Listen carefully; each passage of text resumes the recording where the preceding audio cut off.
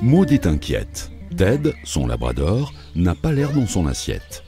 Il va falloir que je contrôle sa température et que je l'emmène chez le vétérinaire. Ton chien n'a pas la puce thermique d'Atria?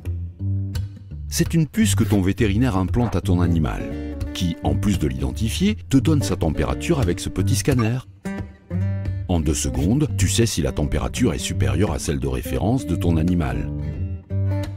Regarde, Scotty en a une. Dingue J'ai son numéro d'identifiant et en plus sa température s'affiche. Hélas, mon chien a déjà une puce d'identification. S'il a déjà une puce ISO d'identification, le vétérinaire ne lui implante qu'une puce biocapteur Fever Check Atria qui ne donnera que sa température. Le système t'indique s'il a de la fièvre ou non par rapport à la température de référence de ton animal.